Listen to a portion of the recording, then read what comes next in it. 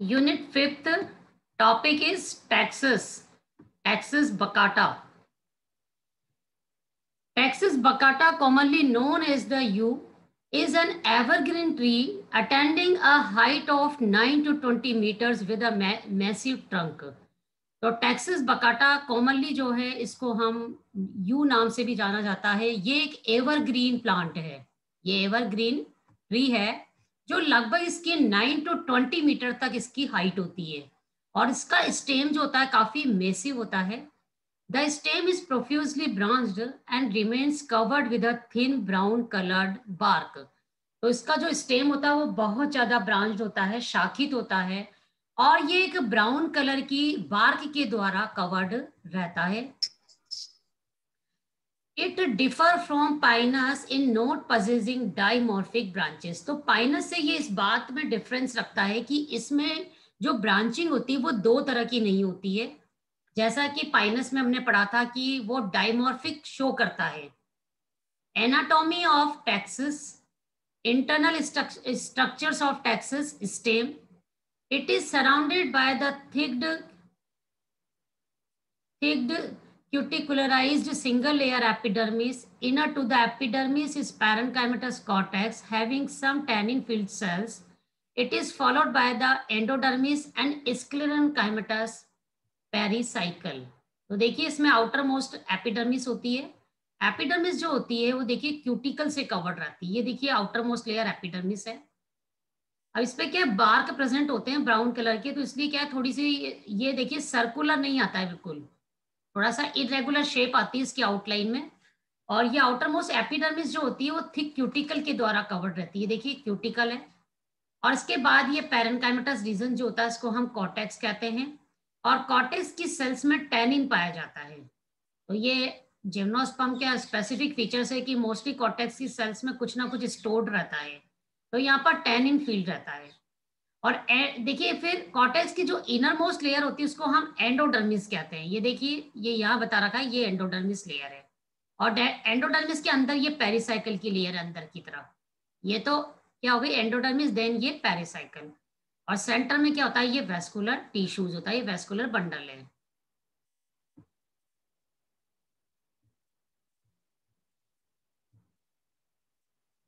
Anatomy of leaf तो देखिए leaf कैसी है? The leaf is dorsiventral leaf dorsiventral होती है it shows xerophytic characters upper and lower epidermal cells are rectangle in shape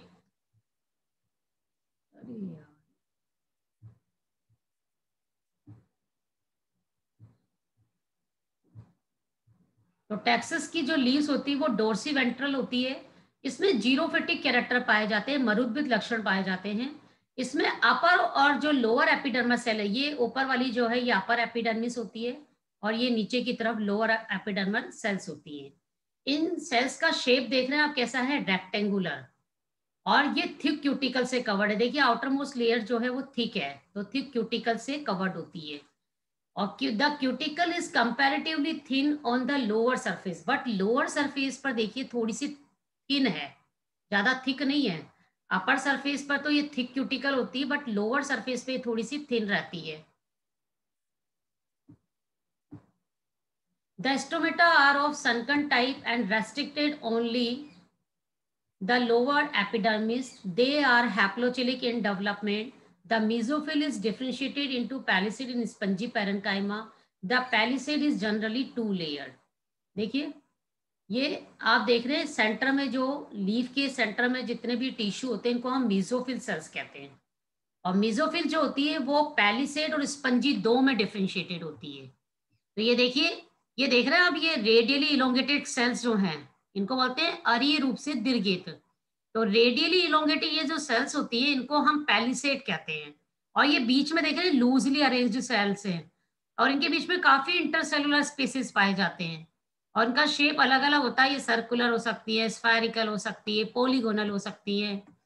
तो ये दोनों सेल्स जो हैं, ये दोनों एक्चुअली क्या होती है मीजोफिल सेल्स होती हैं। तो मीजोफिल यहाँ पर क्या है पैलिसेड और स्पंजी में डिफ्रेंशिएटेड रहता है।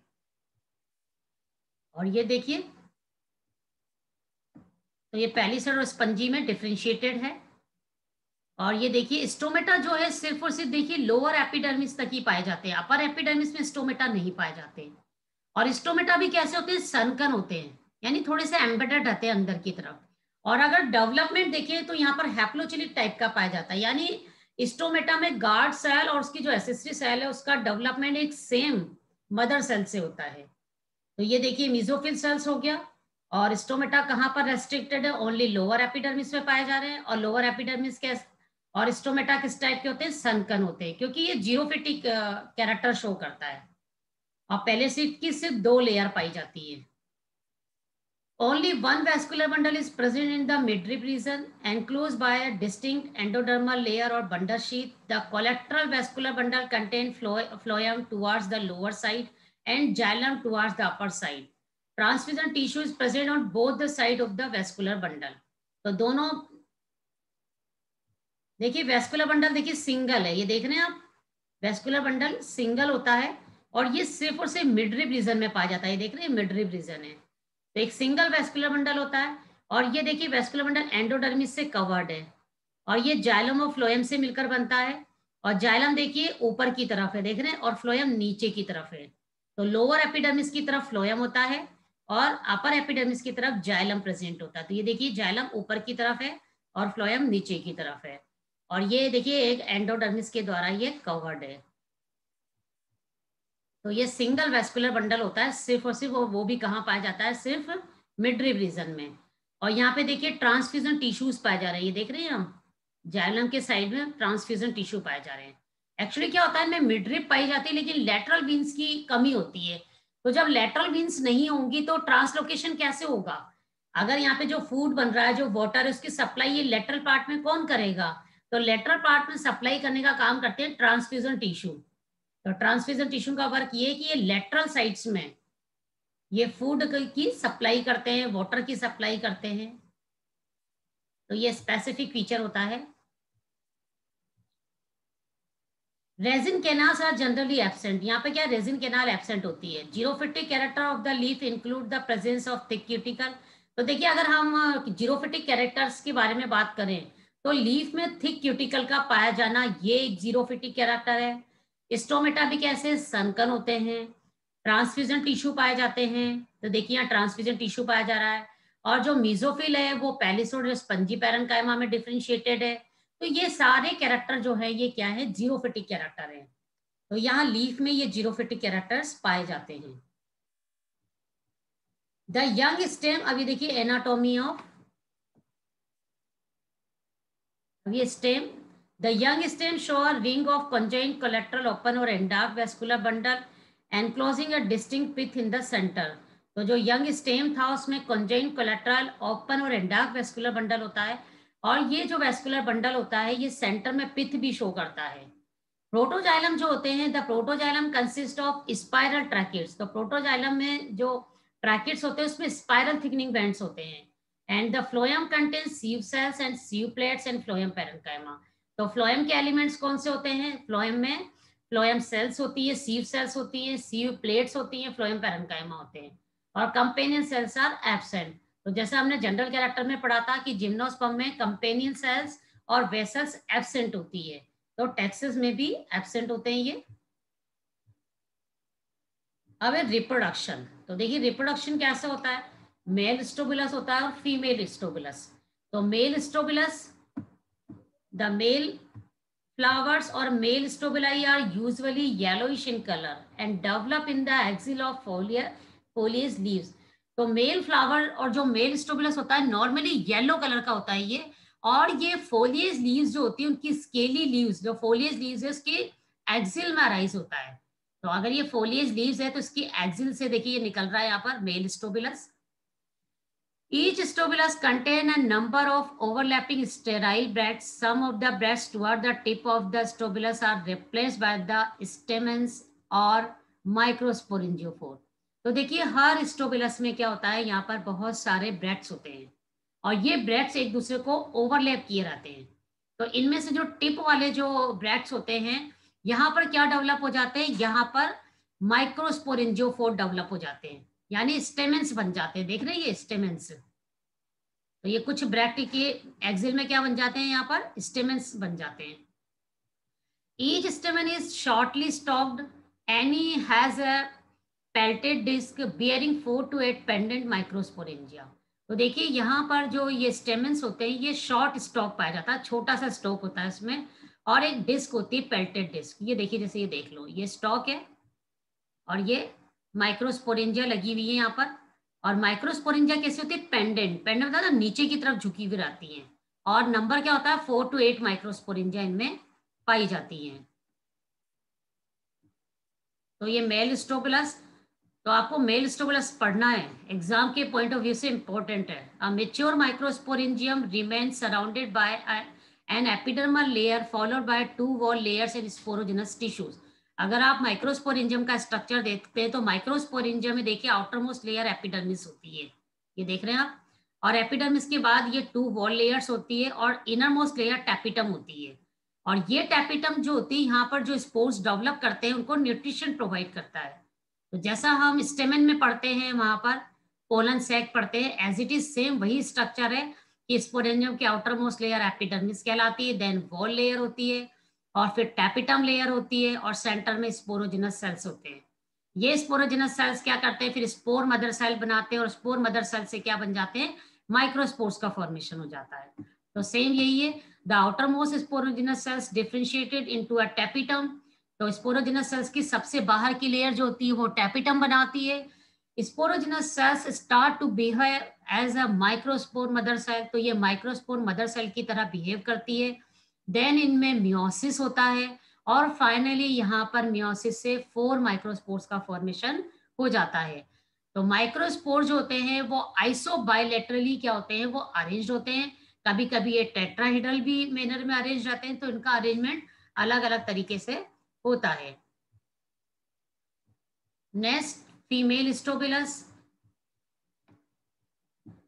और female flower the female strobili in taxus are so highly reduce that they hardly appear as cone और स्टोबिलाई तो फीमेल जो टैक्सेस का जो फीमेल स्टोबिलस होता है, काफ़ी रिड्यूस स्ट्रक्चर होता है ये। They arise in the axil of leaves तो कौन हमेशा याद रखिएगा लीव्स की एक्सिल में अराइज होता है। तो they arise in the axil of leaves early in the season and mature in the next season तो अर्ली सीज़न में क्या होता है, ये लीव्स की एक्सिल में अराइज होते हैं। और नेक्स्ट सीज़न में जाकर ये मिच्योर हो जाते हैं।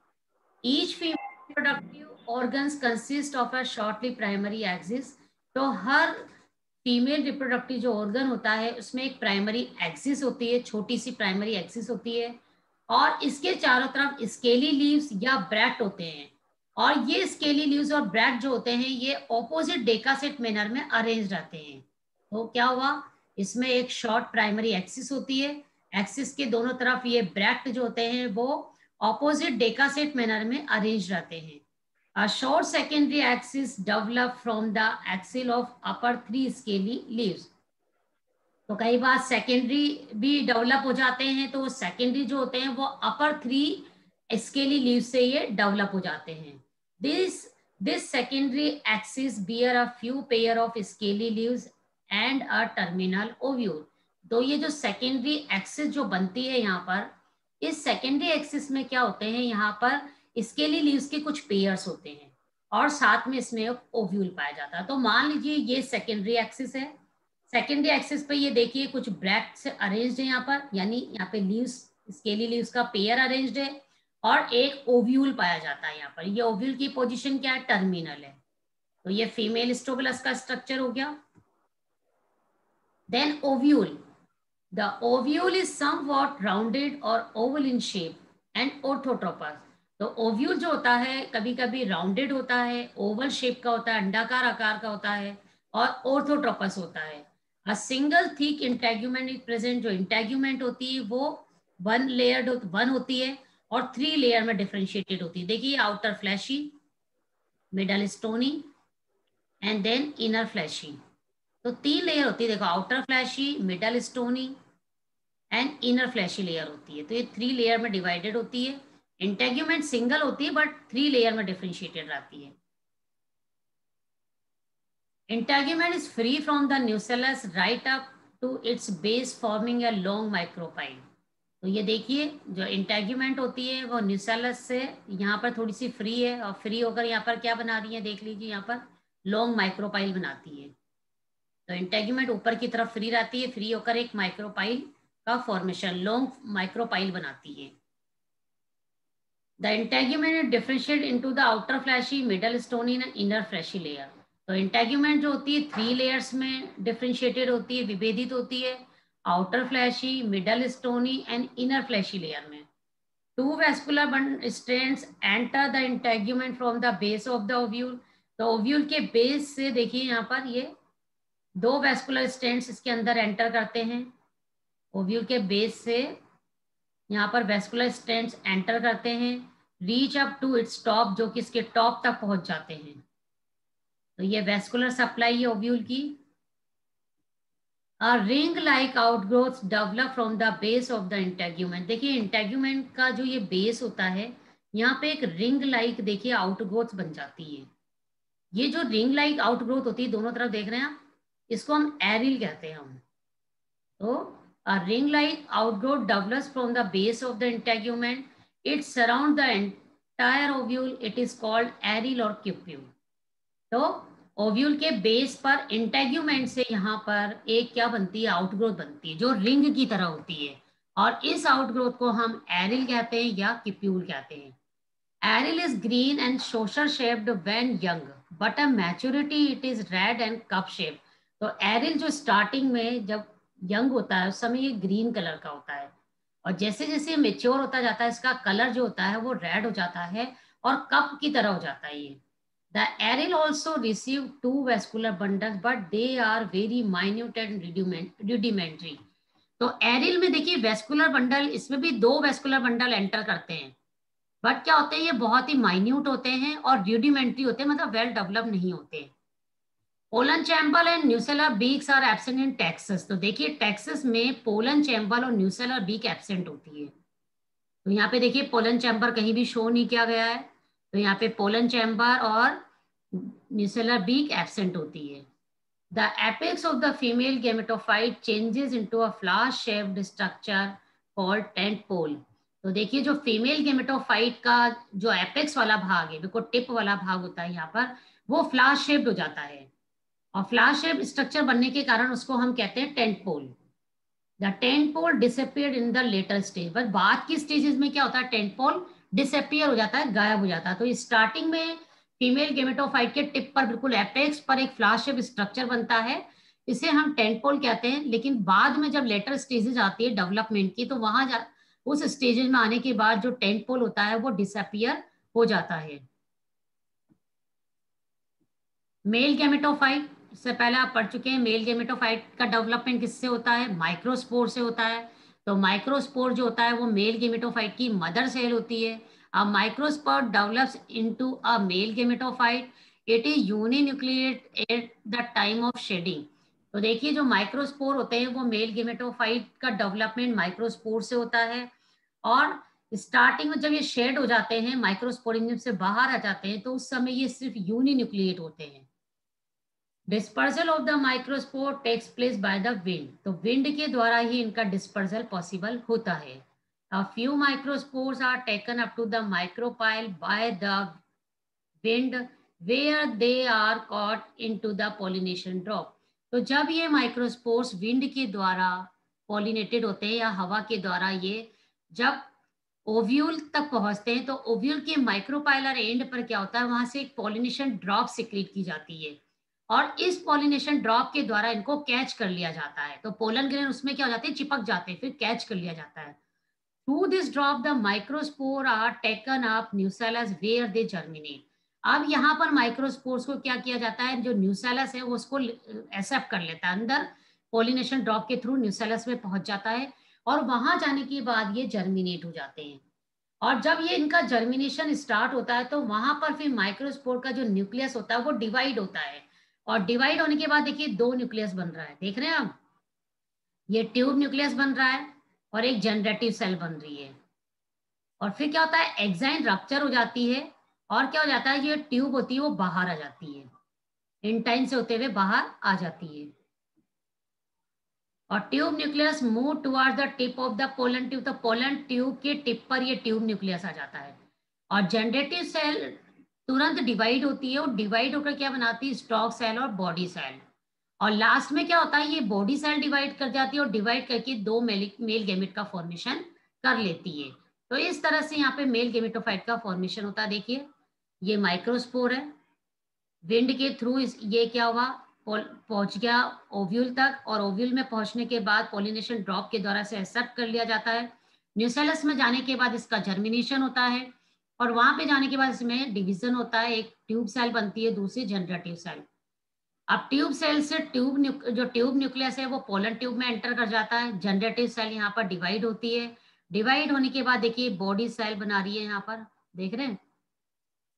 तो ये, और बॉडी सेल से फाइनली क्या बन जाते हैं? दो मेल गेमिट का फॉर्मेशन हो जाता है। तो इस तरह से जिम्नोस्पर्म में जो मेल गेमेटोफाइट होता है, वो बहुत रिड्यूस स्ट्रक्चर होता है। वेल डेवलप्ड स्ट्रक्चर नहीं होता है। Importance of Taxus the timber of Taxus baccata and some other species is oily and harvest of the soft wood तो जो ट्रैक्सेस बकाटा की जो टिम्बर होती है वो काफ़ी यूटिलाइज की जाती है उसका बहुत इकोनॉमिक uh, इंपॉर्टेंस है। तो इसकी कुछ स्पीसीज से ऑयल भी मिलता है। ऑयली होती है काफ़ी और इसके सॉफ्ट वुड के लिए इसको हार्वेस्ट किया जाता है। It is quite durable and use for making decorative veneers तो देखिए काफ़ी ड्यूरेबल होती है इसकी जो वुड होती है इसलिए डेकोरेटिव वेनियर्स बनाने में भी इनका यूज़ किया जाता है। इनके फ्लावर्स और पोस्ट ये पो, जितने भी पोस्ट होते हैं उनको बनाने में भी यूज़ किया जाता है।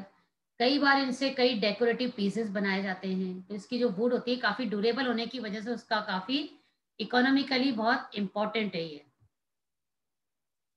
Due to the presence of toxic alkaloid देखिए, इसकी जो लीव्स होती है शूट्स होते हैं सीड्स होते हैं, इनमें कुछ टॉक्सिक एल्केलॉइड पाया जाता है, उसको हम बोलते हैं taxine The entire plant of Texas bacata is considered poisonous and also used in some countries as a fish poison. तो टेक्सस बकाटा से जो ये पॉइजन मिलता है तो इस पॉइजन का यूज़ एक्चुअली फ़िश फ़िश को मारने में किया जाता है, इसलिए इसको फ़िश पॉइजन कहा जाता है it leaves also contain traces of ephedrine and they are for use in bronchitis asthma and epilepsy तो देखिए, इसका मेडिसिनल यूटिलाइजेशन भी है। Seeds of Taxus baccata use as sedative तो ये इसकी इकोनॉमिक इंपॉर्टेंस थी।